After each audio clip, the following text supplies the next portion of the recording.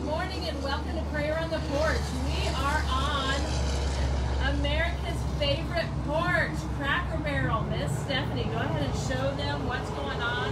America's favorite porch. Miss Stephanie and I are on a road trip. Can you believe it? We just said, you know what, before everything gets crazy and back to normal, we're going to go on a quick road trip. We're going to go see one of my daughters. We're excited.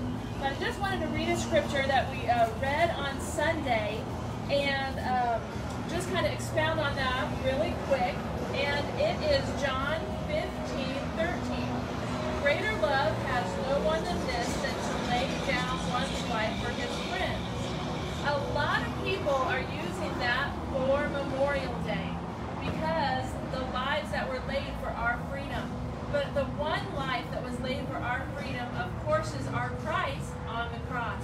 So I just want to encourage you, no greater love. God loves us so much. God loves you so much that he was willing to send his son to die on the cross. And even though that's an everyday message, we need to be reminded. And I bet there's someone in your life that you're willing to lay down your life for.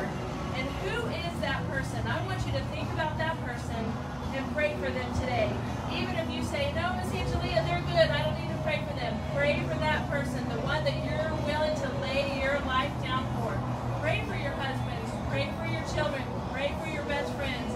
We are praying for you right on the road trip. We're talking about the prayer requests that are coming in on Prayer on the Porch, and we are praying for you specifically.